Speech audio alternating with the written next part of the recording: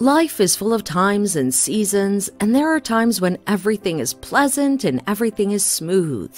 There are also times when things are tough and very difficult.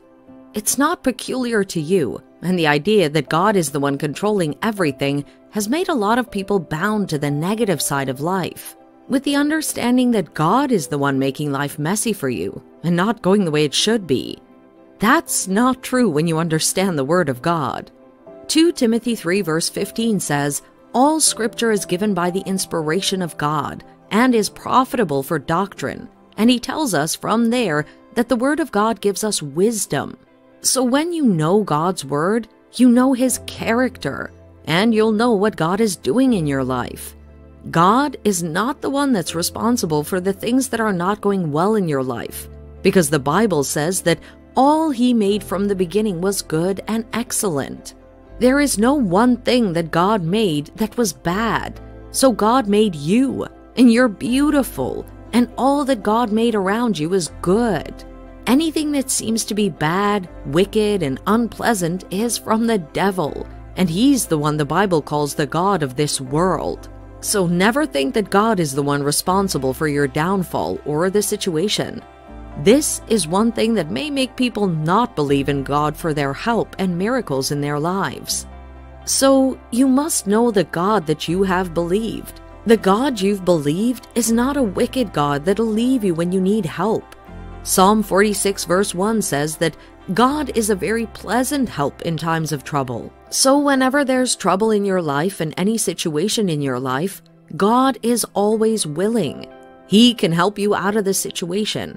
And this is why you can trust in Him. This is why you can open your heart to Him. This is why you can trust His grace to deliver you from any trouble in every circumstance that's not pleasant. You must know whom you have believed. God will not allow your circumstance to determine how He's going to bless you. The blessings of God in your life will overpower and overtake the circumstances you're going through. Are you experiencing something in your life? Are you experiencing a difficulty that's been keeping you worried and anxious? Or are you experiencing a challenge in your life, or even a bodily challenge or financial crisis? It doesn't matter because God is always a blessing. God is a blessing God, and God is a giving God. He's always a giver, and His blessing doesn't stop when you're in any circumstance. So to say that what you're going through is determining how God will bless you is funny. You might be struggling with sin, shortcomings, and mistakes in your life, but that doesn't stop the blessings of God in your life. Sin doesn't stop the place of God in your life because the blessing of God in your life is not based on what you do or your actions. The blessings of God in your life is based on His character, and His character is your Father. Ephesians 1 verse 3 says, God has blessed us all with spiritual blessings in Christ Jesus. The blessings of God makes you love God more, and it makes you serve Him. The more when you know it's God blessing you, the blessing makes you focus on God and trust in God, not man. That is what the grace of God does for you. And that is why when we seek God's blessing, we should hunger the blessing of God in our life. Nothing can change the life of a man like the blessing of God and the hand of God. It's what makes the difference between one person and another. This is why someone might be working in a company for a year and gets promoted, which is why his past qualification and another person may have been in the workplace for many years and has not been promoted. The reason is based on mindset. One believes that God will bless him regardless of the situation while the other does not. The Bible says in Proverbs that the blessing of God maketh rich and addeth no sorrow. When God blesses you, there's nothing that hinders you. Stop complaining. Stop giving excuses for why God shouldn't bless you because of the situation of sin or fault you find yourself in. And then you complain that you can't handle the rest of your life. It is left to you to enlarge your heart because God cannot bless you beyond what you believe and what you can carry in your heart. It's very hard to not believe that God's blessing is not dependent on your action, and that is what God says in His Word, that His blessing is not dependent on what we're going through or what we're facing, but based on our inheritance. Just like when God called Abraham in Genesis 12, Abraham was staying in a place where they were worshiping idols, and when he was still staying in his father's house.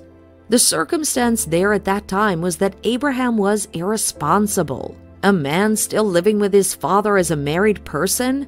But God called him and said, I have blessed you. In blessing, I have blessed you, and in multiplying, I have multiplied you. God's blessing overpowers you to raise above your situations. When God blesses you, He makes you live above the wrong circumstances. The blessing of God is more evident and more abundant in places where we have difficult situations. That is why Paul will say, His grace is sufficient for me. His strength is made perfect in my weakness. Much rather, I will glory in my weakness when I am weak than I am strong. God's grace is more abundant in the place of weakness. That means your disqualification is your qualification. God is a God of grace. He's a God of mercy, and that's his nature. The Bible says that he'll be merciful to our unrighteousness and iniquities. There is nothing that stops God's blessings in our life except unbelief. God is your Father, and He blesses you apart from your works and actions because you are His responsibility. He is committed to taking care of you and ensuring that you are well physically, emotionally, and financially, and that you walk in all around success. You should believe that your circumstances will not determine how much God blesses you. God can do exceedingly abundantly above all you can ask or think. And when you believe right about God, you will see the blessing of God run to the overflow in your life. Instead of weeping over your situation and thinking you're the only one suffering in life, believe in the goodness of God and experience His goodness today.